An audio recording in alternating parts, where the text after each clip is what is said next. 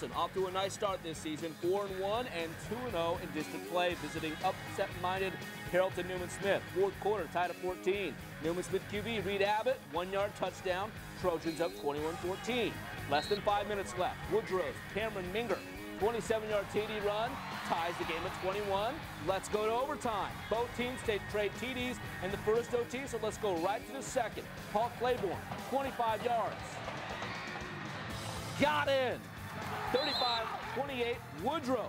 Newman Smith has to answer. Fourth down. Abbott's pass, balls in and out of the receiver's hands, incomplete.